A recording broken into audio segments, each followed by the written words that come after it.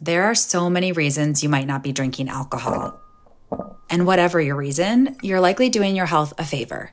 Not to be a buzzkill, but alcohol is a toxin. If you still want to feel like you're drinking something special and we're celebrating with, try upgrading your mocktail game with this old fashioned mocktail with pomegranate. It's not too sweet or bitter and perfect to unwind with. Cheers.